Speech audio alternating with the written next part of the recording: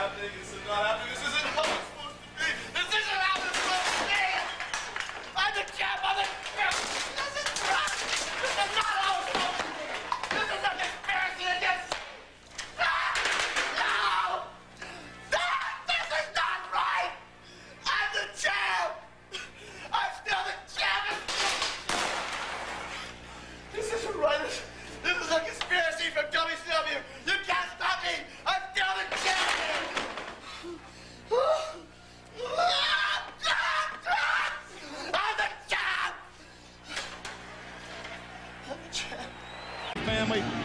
Boris Malenko, and that don't sit well with Dean.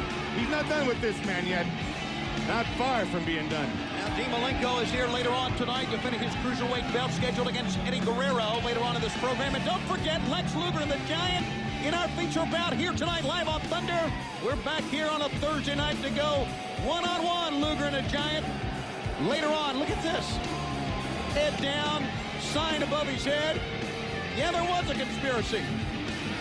And the conspiracy had to do with Juventud Guerrera and Dean Malenko. Jericho just plain and simple got beat at his own game. That's right. He got scammed.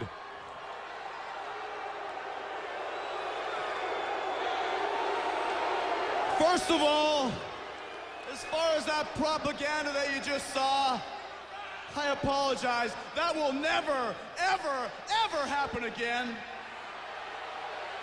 Thank you.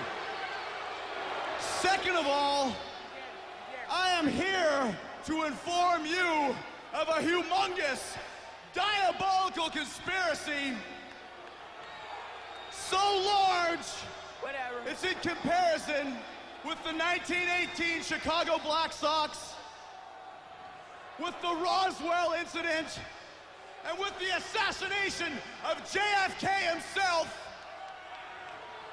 A conspiracy so large that it has robbed me of my most prized possession, the Cruiserweight Championship. A conspiracy perpetrated by the snake oil salesmen who call themselves the WCW office and every single wrestler in the WCW locker room. So what I would like to do is have Mr. James J. Dillon, the president of WCW, come out here and face me right now. So Dillon, get out here. Hey, Dillon, waddle on down here and face me right now.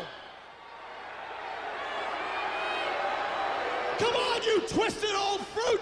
Get out here and listen to me. listen to these demands and you know fans let, me say this all the announcers All right, Double J. Here's what I'm gonna tell you. Since you won't come out and face me, since you're hiding in the back room, quivering in your boots, I'm gonna give you the evidence right here in my hand. I have a list of the 15 competitors in the Cruiserweight Battle Royal from, from Slamboree. But on this list, I see no Dean Malenko. There's no Dean Malenko. Show me Dean Malenko. He's gonna lose it again. So Malenko, since you went on that list, I guess I never could have lost that match to you. Which makes me think that maybe this battle royal was a fix. Maybe the fix is in. Well, Dillon, if you won't come out here and face me, I'm not gonna stop hounding you. I'm not gonna stop following you until you face me and give each and every person in this arena, every Jerichoholic here and across the United States and worldwide, what they really want, which is to reinstate me as Cruiserweight Champion, Dillon. Because I will never, ever stop chasing you until you give the people what they want and give me my belt back. threatening James J. Dillon's not going to get it done. Now, let me say this. This announce team here before you fans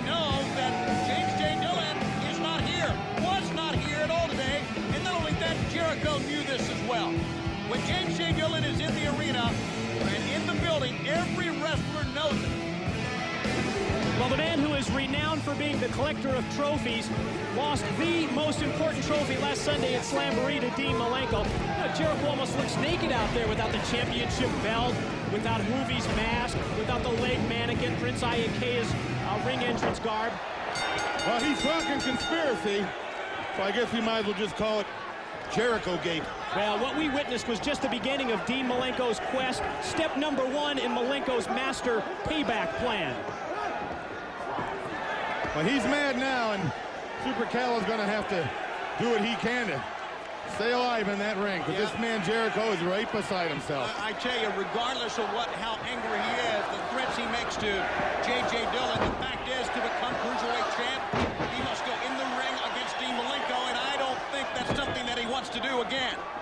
Look at Calo over the top. He almost pinned him. He got a two count at Calo that time. A lot of times there's a running lariat. A lot of times, look at Calo. Showing a lot of firepower here. And he's still got his hat on. Well, Calo knows that he can open up the eyes of the WCW Executive Committee with a victory over Jericho, and Jericho needs a win to get back in the oh! cruiserweight ranks. What a released German suplex. Surprised he didn't break his neck. Probably wants to. In oh, the middle, the Lionsault that time missed. Enabling Calo to walk the top. He Oh. tried, oh, he tried a moonsault of his own and really missed that time. He hit his he hit his upper part of his body before he connected with Jericho. Lion And then- tamer. Yeah, that's him hooked for the Lion Tamer. Quickly, Super Calo taps out. The best move he's made all night.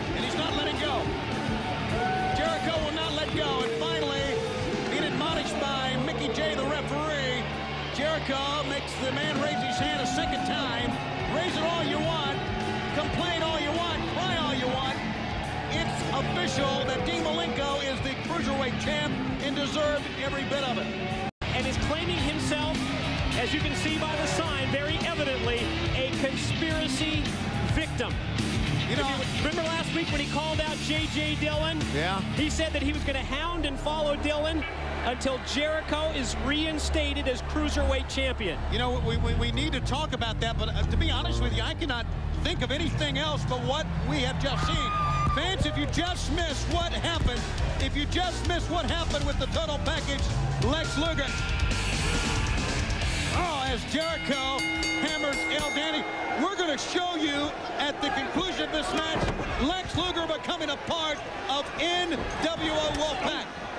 It is literally unbelievable. My jaw is still on the ground. I, I don't believe that. What do you think Sting is thinking right about now if you don't believe it? Uh, he's got a much bigger problem than I do.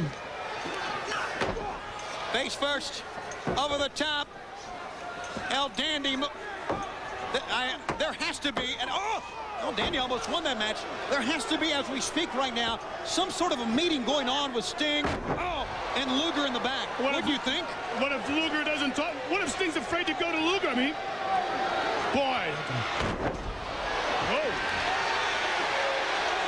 Trying to turn him over for the Lion Tamer, and he's got El Dandy down. Charles Robinson checking. Look how the knee is up against the side of the head, bending the neck back. It's just a question of time. And there you see it. Dandy finally makes eye contact with the official. I don't think he could even tap out from that position that Jericho had him hooked in the Lion Tamer. Conspiracy victim? Well, maybe so, and so what?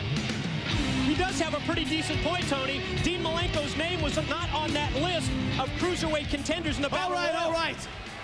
I'd like to dedicate that victory to all you Jerichoholics who are crestfallen that I've been victimized by this diabolical conspiracy that has left me without my prized possession, the Cruiserweight belt.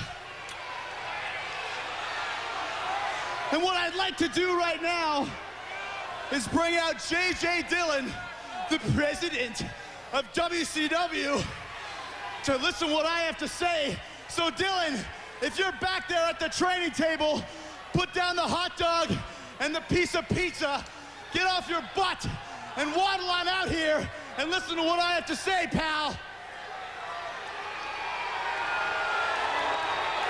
Octogenarian, tubby, fat, white-haired, moronic, imbecilic, pretentious goof. Get out here into the ring right now And listen to what I have to say, you son of a... Mr. Dillon, is this thing working? This thing doesn't even work. You're looking beautiful today. Your suit is immaculate. Did you get a haircut? You're looking good. You're looking JoJo. Now, JJ, what I'd like to tell you is there's been a little bit of a misunderstanding. I've been stripped of my cruiserweight belt because of a technicality. It's totally something irrelevant. I have a list right here of the 15 participants in the Cruiserweight Battle Royal. But on that list, I see no Dean Malenko. There's no Dean Malenko. Show me Dean Malenko. Ain't none there. So what I'm saying to you is, how could I have lost the belt to a man who wasn't even supposed to be in the Battle Royal to begin with? So being a man of infinite wisdom, wisdom, being a man of immaculate judgment, I know you're gonna do the right thing. You're gonna give the people what they want, and you're gonna reinstate me as the Cruiserweight Champion of WCW. I don't think so. Yeah, unlike today, I don't think he has a point. If memory serves me correct, you were informed because you had defeated all challengers that at Slamboree we were going to take the 15 top cruiserweights, have a battle royal, and you were going to face the winner that night. Now, by the very nature of that type of match, it's impossible for you to exercise your right to clear your opponent. And if I remember correctly, you were gloating something about the winner surviving a beating by 14 others and having to wrestle twice that same night, and you relish that advantage. I, I think that's how I remember. No, that was misconstrued, JJ. I have the right of refusal as a champion to oversee all the opponents, and I never said that I could face Dean Malenko. I was never prepared for it. I was at a psychological disadvantage, JJ. You gotta believe me. You, you don't have to raise your voice to me. Until you can show me some precedent for overruling this type of a, of a match, the decision stands and Malenko is the champion. Come on, JJ! You pompous, pathetic old idiot! This is a conspiracy against me! And you're the perpetrator of it! You pretentious idiot! I won! Wait, Mr. Dillon, I want my belt. Mr. Dillon, wait! Cut wait, Mr. let's Dillon, please! mic. Get please give me Here my he goes. belt He back. snapped again. Please, JJ! Fans, we need to go back and relive one of the most shocking moments in recent memory on Nitro. The world saw on Nitro on Monday where you made a demand of not only James J. Dillon, but of WCW to return the Cruiserweight title back to you, and I think you pretty clearly got your answer. Tony, I feel pretty bad because the other day on Nitro, JJ Dillon and myself had an unfortunate confrontation. I insulted him in some way and I apologize, JJ. It will never, ever happen again. And what I would like to do right now is have Mr. Dillon come out and talk to me because I know, JJ, if you will just come and listen to what I have to say in your immaculate wisdom, that you will do the right thing and you will return the cruiserweight belt to me in your honor with your ethics. Hold on a second. James J. Dillon is not at the arena. James J. Dillon is not in Nashville, Tennessee tonight. I think everybody pretty well knows that. James J. Dillon is not in Nashville, Tennessee. Oh, you know he's, He's, not- he's not in this arena anywhere. He's not, he's not in the premises anywhere. No, he's Oh, not. That's just great. Hold this, Tony. Hold it up. Hold it up so everyone can see it. JJ, you fat, balding, unethical, hypocritical heathen. You had the gall to come out on national TV and insult me in front of my peers, in front of my family, in front of all the Jerichoholics worldwide. Well, Dillon, you know what? This is not over because I tell you what I'm gonna do.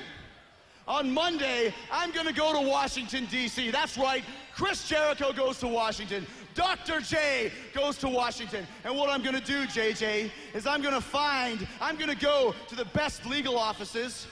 I'm gonna go to the most prestigious law libraries. I'm gonna go to Senate. I'm gonna go to Congress. I'll go to the President of the United States of America if I have to, JJ. But what I'm gonna do is I'm gonna find the jurisprudence.